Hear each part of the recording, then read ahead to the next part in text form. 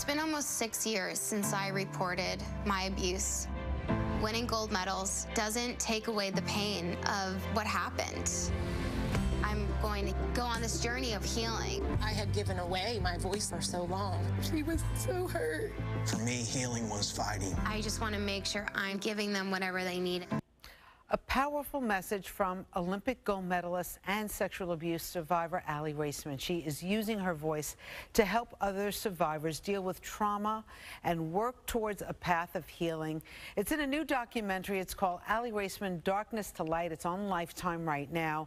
Aly Raisman, nice to talk with you. How you doing these days? I'm doing well. How are you? Good. What was it like putting together this documentary? Because you had to relive things.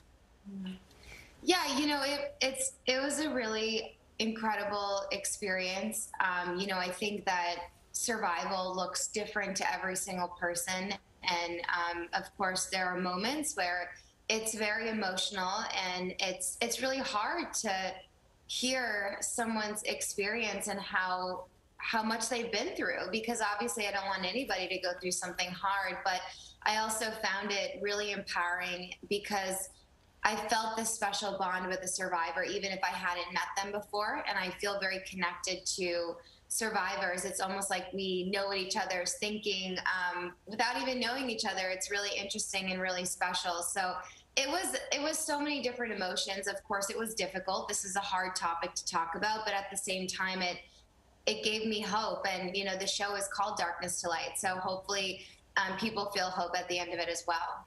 What I liked about uh, this documentary is that you are in the power seat, Aly.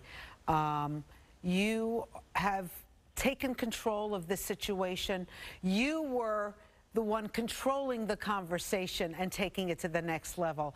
But you also admit in the documentary that it takes its own emotional toll on you. What has that been like?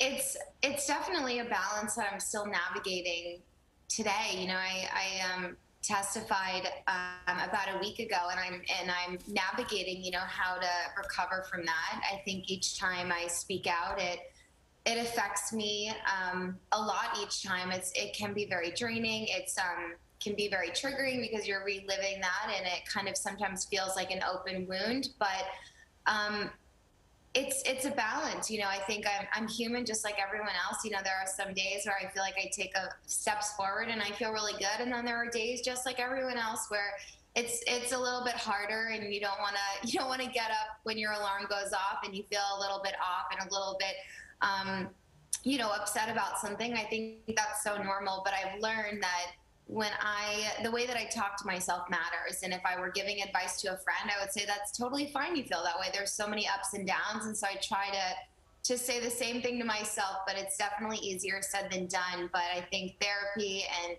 having a support group um, and a community around me is, is truly everything. And I recommend the same thing for others. So in the documentary, you talk about your former team physician, Larry Nassar. We have a little clip from the documentary. Let's take a look every few months there's another thing that's so public in the news about a coach or doctor.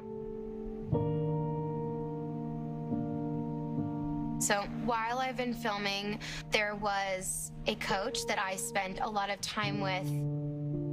He was charged and ended up taking his own life. It feels like it's never ending. You also, when you talked about uh, Larry Nassar uh, on Capitol Hill, you were angry because you felt like there were a lot of people who turned a blind eye. Can you speak about that a little bit, Aly? Yeah, um, you know, the way that a survivor heals is is linked to how their abuse is handled, and you know, there's been unfortunately so many people that have gone to lengths to cover up our abuse and that is you know people from the fbi usa gymnastics and the united states olympic and paralympic committee and it is it's unacceptable it's devastating it's scary that we live in a world where there are people who cover up children being abused. It's completely um, awful and i it's something that myself and my teammates and my fellow survivors are very passionate about changing. You know, we've been fighting this battle for many, many years, and it's um, it's frustrating because it's a, child being abused shouldn't be something that we have to, you know, fight for children to be safe. So I think that's sort of it feels. It, it's it's so hard for me to wrap my head around why we have to continue to to publicly speak about this because it seems like it's, it seems a no-brainer to me. Why wouldn't everyone want to do everything they can to help keep children safe? So it's it's really disappointing. I'm wondering, Aly, um, when the time comes, you have kids, and perhaps somebody wants to follow in your footsteps. How will you react? Will you leave their side? What will you? How do you think you're going to handle this? Do you mean if, if my one of my kids wants to do gymnastics? Yes.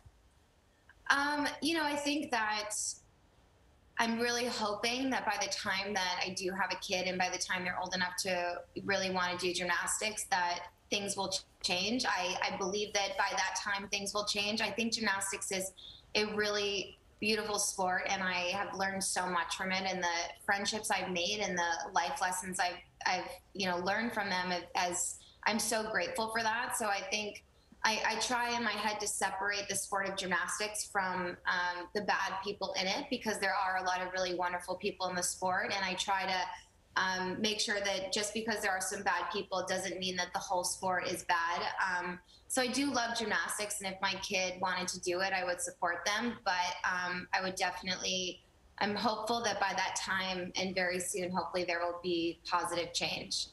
Aly Raisman, I hope so too. You have our support. We're going to watch your documentary. It airs tomorrow. It's called Darkness to Light. Uh, it premieres uh, tomorrow night at 8 o'clock on Lifetime.